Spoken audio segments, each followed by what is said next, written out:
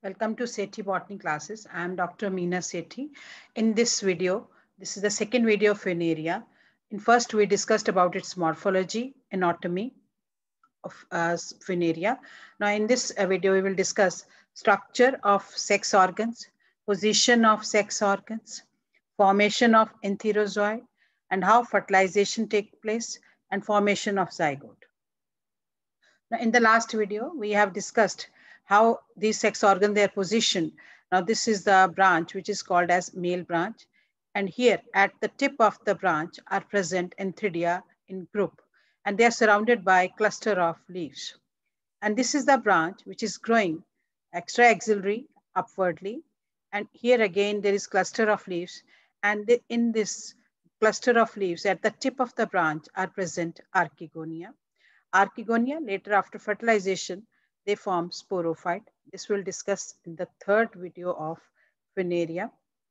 Now, all the sex organ, they are present on the same plant. So this condition is monoecious. When they are born on different branches, this is called as autoecious. And Antheridia, they mature earlier and formed earlier than Archegonia. This is called as protandrous condition. If we cut the LS of the male branch at the tip, we will found that Antheridia are present in group at the tip of the male branch. And in between Antheridia are present sterile structures. And these sterile structures, they are called as paraphysis, whose upper cell is swollen up. And these branches, which are sterile also, they are hygroscopic in nature.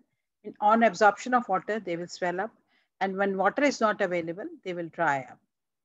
And these are the leaves which are surrounding the group of Antheridia.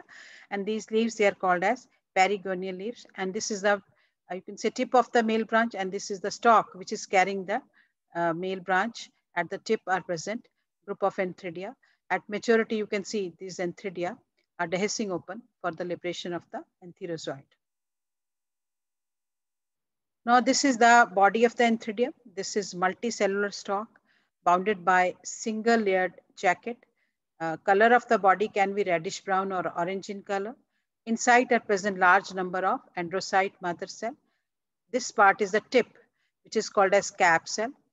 Now, this androcyte mother cell, which will differentiate later on into antherozoid.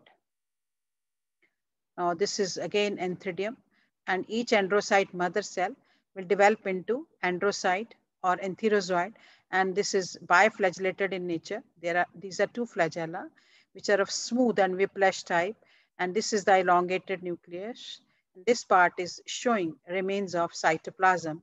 And now these antheridia, because they have a pair of flagella, and when water is filled up in the perigonial leaves, antheridia will dehisce open to liberate the spermatozoid. Now this is the dehiscence of the antheridia. Uh, from the tip part, when it ruptures this um, mass of antherozoid will come out. Actually, in this cup, whole cup, water will fill up and antherozoid, they will swell up. And when they will swell up, they will exert a pressure on the upper side and these antherozoid will come out of the antheridia. So ultimately, they will be liberated from the antheridium. Now, with the help of these flagella, they can move toward the archegonia because where, where they are growing, there's water uh, and with the help of water, they will move toward the archegonia or the female structure. Now, if we see the female structure, again, present at the tip, this is present at the tip in group clusters. So these, these are an archegonia present at the tip of the female branch. And each archegonium is elongated. Its neck is twisted, elongated and twisted. this lower part is a venter and this is the stalk this is the elongated part is called as neck. And the leaves which are surrounding the archegonia, these are called as perichaetial leaves. In case of Antheridia, it was perigonial leaves and here it is called as perichaetial leaves. If we see the structure of archegonium, this lower dilated part is called as venter and this upper elongated twisted part is called as neck and neck is having about four to six neck canal cells and this is the tip part of the archegonium and this is the ventral canal cell just below the, just above the egg cell. And this is the egg.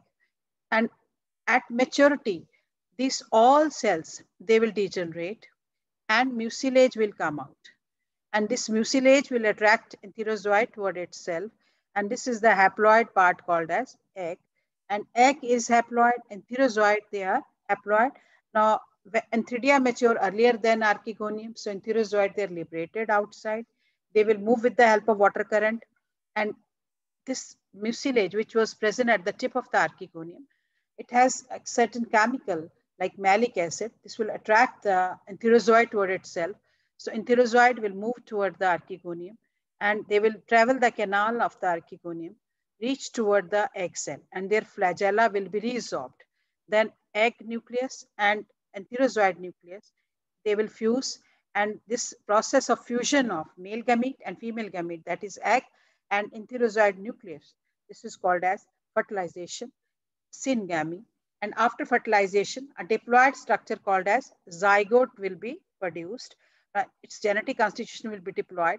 Now this will undergo mitotic cell divisions to form sporophyte. Formation of sporophyte, formation of spore mother cell, and haploid spore. This we will discuss in the third video. Thank you so much for watching the video. If you have liked my video, please share, like, and subscribe.